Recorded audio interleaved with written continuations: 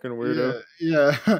bro. He would queue up with like plats and shit, and I'd be there, and I would be at the top of the fucking board.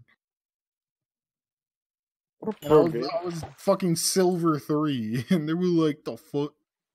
I remember the first time I played with them, they were like, "Oh, silver three, oh, okay."